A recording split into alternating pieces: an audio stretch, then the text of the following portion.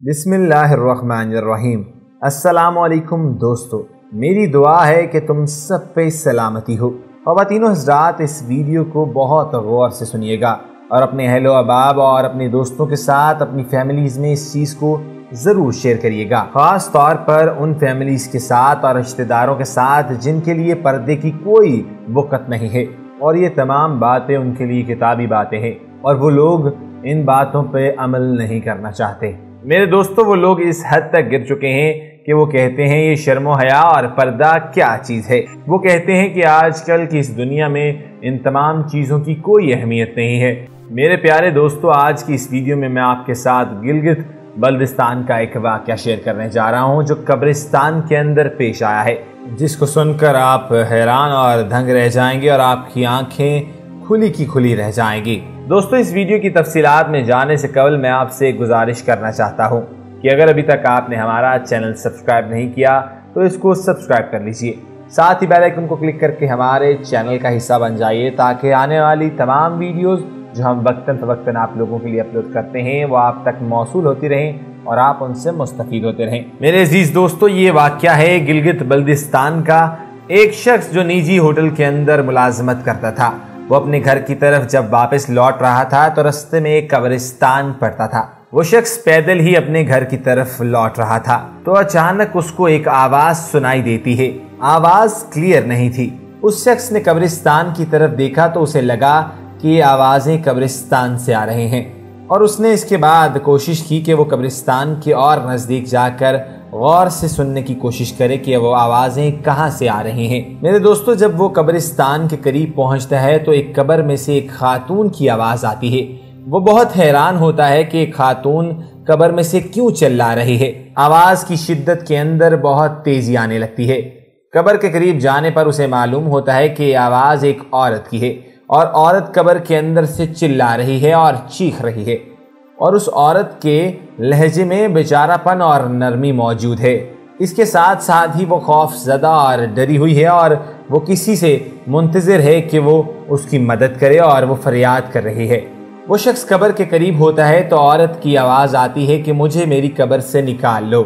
میری قبر سے نکال لو تاکہ میں تمہیں ایک پیغام دے سکوں جس سے تمہاری آنے والی تمام نسلیں سمر جائیں گی۔ اور اللہ کی تم پر خاص رحمت ہوگی اور آنے والی جو تمام جنریشنز ہیں جنہوں نے آنا ہے اور اپنی زندگیاں بسر کرنی ہیں، ان کو بھی ایک سبق مل جائے گا۔ کیونکہ میرے پاس تو اب وقت نہیں اور میں واپس لوٹ نہیں سکتی۔ تو میں نے سوچا میں تمہیں ایک پیغام سے روشناس کر دوں۔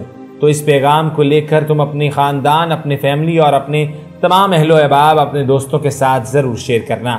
اور اس پیغام کو اتنا پھیلا دینا کہ کوئی بھی ایسا انسان نہ بچے جو اس بات سے محروم رہ جائے۔ لیکن ان سب چیزوں سے پہلے مجھے میری قبر سے باہر نکال لو۔ یہ شخص یہ بات سنتے ہی قبرستان سے بھاگ جاتا ہے اور اپنے محلے میں جا پہنچتا ہے۔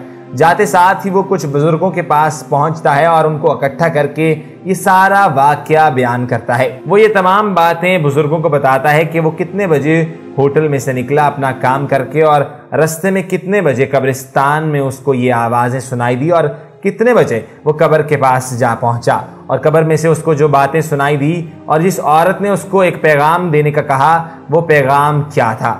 تمام بزرگ اس کی بات کو بہت غور سے سنتے ہیں اور تمام لوگ اس کی بات کا یقین بھی کر لیتے ہیں اور اس کے ساتھ قبرستان تک چلے جاتے ہیں۔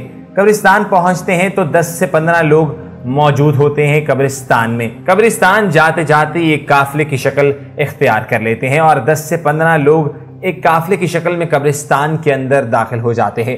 حیرانی کی بات یہ ہے کہ وہ لوگ یہ دیکھ کر حیران ہو جاتے ہیں کہ وہ آواز جو چیخوں کی آ رہی تھی، اس کی شدت اسی طرح بڑھتی چلی جا رہی تھی۔ ان تمام لوگوں میں کچھ نیک لوگ بھی موجود ہوتے ہیں جو دیکھ کر سمجھ جاتے ہیں اور وہ دیکھ کر بھاگتے نہیں، بلکہ سمجھ کر ادھر ہی کھڑے رہتے ہیں اور یہ سارا منظر اپنی نظروں سے دیکھتے ہیں۔ وہ تمام لوگ اس عورت کی چیخوں کو سن کر کہتے ہیں کہ ہمیں اس عورت کو اس کی قبر سے باہر نکال لینا چاہیے، کیونکہ وہ جو پیغام دینا چاہتی ہے، کیا پتا اس سے ہماری نسلیں واقعی سور جائیں۔ اور اس عورت کو باہر نکالنے کے لیے آپس میں مشورہ کرنے لگ جاتے ہیں۔ جس وقت وہ تمام لوگ قبر کو کھود رہے ہوتے ہیں اور اس عورت کو باہر نکالنے کے لیے قبر کی کھدائی کر رہے ہوتے ہیں، تو اس کے دوران ان کے ساتھ اور بھی بہت سے لوگوں کا مجمع لگ جاتا ہے۔ اور ان دس لوگوں کی تعداد پندرہ سے سولہ ہو جاتی ہے۔ وہ جب قبر کی سلیپوں کو اتارتے ہیں اور وہ دیکھتے ہیں کہ ایک عورت قبر کے اندر بیٹھی ہوتی ہے۔ اور وہ عورت اپنی قبر کے اندر سے بیٹھے ہوئے یہ کہتی ہے کہ جاؤ اور میرے گھر سے کپڑے لے آؤ اور ایک لمبا دوبٹہ بھی لے آؤ۔ لیکن اگر تمہیں میرے گھر کا معلوم نہیں، تو میرے گھر کے علاوہ اپنے کسی گھر میں سے کسی عورت کے کپڑے اور ایک لمبا دوبٹہ لے آؤ۔ اور اگر تم یہ کپڑے لے آؤ گے، تو میں قبر سے باہر نکل آؤں گی۔ دوستو، وہ لوگ اس عورت سے پوچھتے ہیں کہ تمہارا گھر کہاں پہ ہے؟ وہ عورت انہیں اپنے گھر کا پتہ بتاتی ہے اور اس عورت کا گھر کہیں قریب میں ہی ہوتا ہے۔ وہ شخص اس کے گھر جاتا ہے اور وہاں سے اس کا ایک پرانا سوٹ اور ایک بڑا دوبٹہ بھی لے آتا ہے۔ وہ شخص عورت کی دونوں چیزیں قبر کے اندر لا کر پھینک دیتا ہے۔ وہ عورت قبر کے اندر کپڑے پہنتی ہے اور قبر میں سے باہر نکل آتی ہے۔ قبر میں سے باہر نکلتے ساتھ ہی وہ اپنے گھر کی طرف بھاگنا شروع کر دیتی ہے۔ اتنے میں ہی تمام لوگ بھی اس کے پیچھے بھاگنا شروع ہو جاتے ہیں۔ اس عورت نے مجمع کو دیکھتے ہوئے کہا کہ تم آ جاؤ اور میرے گھر کی طرف آؤ، میں تمہیں ایک پیغام دینا چاہتی ہوں۔ اور تمہیں ایک چیز سے آگاہ کرنا چاہتی ہوں۔ وہ خاتون اپنے گھر کے اندر داخل ہوتی ہے اور اپنے گھر سے داخل ہو کر اپنے کپڑوں کو لپیٹ کر باہر دروازے کی طرف آ جاتی ہے۔ ان تمام مجمع کی طرف منہ کر کے انہیں ایک پیغام سے روشناس کرتی ہے اور کہتی ہے کہ میں تمہیں ایک حقیقت بتانا چاہتی تھی، جس کی وجہ سے میں قبر سے باہر نکلی ہوں۔ اس کا یہ کہنا تھا کہ میں ایک غلطی کر بیٹھی تھی اور اس کا پچھتاوا میں آج تک بھگت رہی ہوں۔ اور میں یہ نہیں چاہتی کہ میری آنے والی نسلیں اور تم لوگوں کی آنے والی نسلیں یہ ایسی غلطی اور ایسی خطا کر بیٹھیں وہ اور میرے دوستو، یہ تمام باتیں کرتے ہوئے وہ ایک مجمع کے درمیان میں آ کر کھڑی ہو جاتی ہے اور اپنے سر سے دوبٹہ اتارتی ہے۔ تو پتہ چلتا ہے کہ اس کے سر کی سکن بھی نہیں ہے۔ یہ دیکھ کر وہاں پر تمام کھڑا مجمع اور جو تمام کھڑے مرد سارے کے سارے پریشان اور حیران ہو جاتے ہیں اور وہ ایک متلی کی کیفیت میں چلے جاتے ہیں۔ تمام لوگ جب سکتے سے باہر آتے ہیں تو اس سے سوال کرتے ہیں کہ تمہارے سر کے بال اور تمہارے سر کی جو جلد ہے وہ کہاں ہے؟ میرے دوستو، اس عورت کے جواب میں یہ کہنا تھا کہ میں جب گھر سے باہر نکلتی تھی اور بازار کے لیے جب بھی نکلتی تھی تو میں گھر سے نکلتے وقت دوبٹہ اتار دیتی تھی اور میں یہ چاہتی تھی کہ جو میرے تمام چمکتے ہوئے بال مردوں کی آنکھوں کا ستارہ بنے۔ میں چاہتی تھی کہ مرد زیادہ سے زیادہ مجھے دیکھیں اور میرے بالوں سے امپریسڈ ہو جائیں۔ اس کے بعد کی بات کی جائے تو جب وہ عورت اپنے منہ سے دوبٹہ اتارتی ہے تو پتہ چلتا ہے کہ اس کے منہ کے اوپر ہونٹ ہی نہیں ہوتے۔ وہ جب ہونٹ کا پتہ کرتے ہیں کہ تمہارے ہونٹ کہاں ہیں اور تمہاری جو سکن ہے ہونٹوں کی ماس ہے وہ کہاں ہے؟ تو وہ عورت جواب میں بتاتی ہے کہ جب میں گھر سے باہر نکلتی تھی بازار کے لیے تو میں اپنے ہونٹوں کے اوپر سرخ کلر کی لپسٹک لگا کر نکلتی تھی اور میں چاہتی تھی زیادہ سے زیادہ لوگ میرے خوبصورت ہونٹوں کو دیکھ کر اپنے متاثر ہوں اور اور وہ چاہتی تھی کہ زیادہ سے زیادہ لوگ اس کے ہونٹوں کو دیکھ کر، اس کی خوبصورتی ہونٹوں کی دیکھ کر متاثر ہوں اور وہ اس کی ہونٹوں کی تعریف کریں۔ اور تمام لوگ میری خوبصورتی کے بھی دل دادہ ہو جائیں گے۔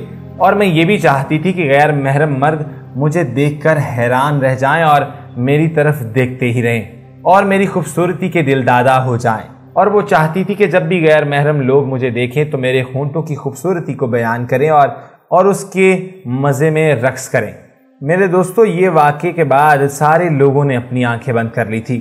وہ یہ تمام معاملے کا جائزہ بھی لے رہا تھا اور یہ تمام چیزیں اپنے اندر سمو رہا تھا۔ میرے دوستو، اس عورت نے جب اپنی لمبی چادر، جسے بڑا کپڑا کہا جاتا ہے، جب وہ اپنے پیروں سے ہٹائی تو اس کے پیروں کا منظر دیکھ کر وہ شخص بھی حیران رہ گیا۔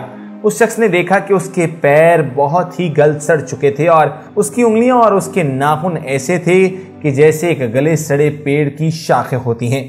اس عورت سے جب اس شخص نے سوال کیا کہ تمہارے پیروں کے ساتھ ہوا کیا ہے؟ اس عورت نے جواب میں بتایا کہ جب میں غیر محرم کی طرف بڑھتی تھی یا جانب اس کی جاتی تھی، تو میں اپنے پیروں کی ذرا پرواہ نہیں کرتی تھی۔ اس عورت نے بتایا کہ جب میں غیر محرموں کی طرف بڑھتی تھی تو میں اپنے پیروں کا بہت خیال کرتی تھی۔ میں اپنے پیروں پر عجیب و غریب کریمیں بھی لگایا کرتی تھی اور میں اپنے پیروں کو بہت کیر سے رکھتی تھی۔ اس نے اس بات کی بھی تعلیمات دی کہ میں یہ چاہتی ہوں کہ ایک عورت جب گھر سے باہر نکلے اور ایک بہن، بیٹی جو بھی اپنے گھر سے باہر نکلے، غیر محرم کے سامنے جائے تو بالکل پردے میں جائے۔ پردے کے بغیر جانے والے کے ساتھ بہت ہی برا سلوک کیا جاتا ہے۔ اس عورت نے اس شخص کو کہا کہ جب بھی بیٹی، بہن یا ماں گھر سے باہر نکلے تو اس کو چاہیے اپنے ہونٹ، اپنے چمکتے ہوئے بال، اپنے پاؤں سب کو کور کر کے باہر نکلے تاکہ وہ اللہ تعالیٰ کے عذاب سے بچ سکے اور اور عبرت کا نشان نہ بن سکے۔ میرے تمام دوستوں وہ عورت یہ تمام باتیں کر کے اور یہ تمام تعلیمات دے کر دوبارہ سے مر جاتی ہے۔ وہ شخص اس کو دوبارہ قبر میں جا کر دفنا دیتا ہے۔ تو میرے دوستو، اس ویڈیو میں اور اس چیز میں ایک تعلیمات تھی جو ان لوگوں کے لیے، ان مردوں کے لیے تھی۔ ان کو یہ نہیں بتایا جاتا کہ غیر محرم کے سامنے کیسے پردہ کر کے جانا ہے اور اپنے آپ کو کیسے کور کر کے غیر محرم کے سامنے جانا چاہیے۔ میرے دوستو، امید ہے کہ آپ کو یہ ویڈیو بہت پسند آئی ہوگی۔